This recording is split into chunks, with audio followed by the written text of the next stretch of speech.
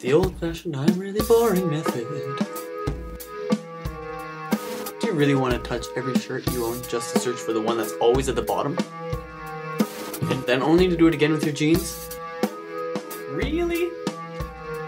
Either way, I suppose it doesn't matter when this is what happens inside of your suitcase while you travel.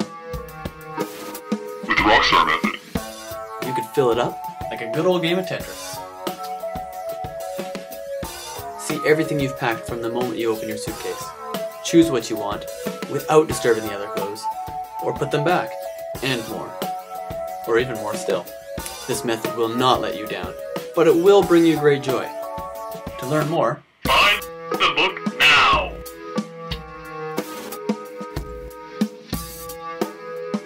go to Kickstarter.com to pledge. Or just Google how to pack like a rockstar. That works too.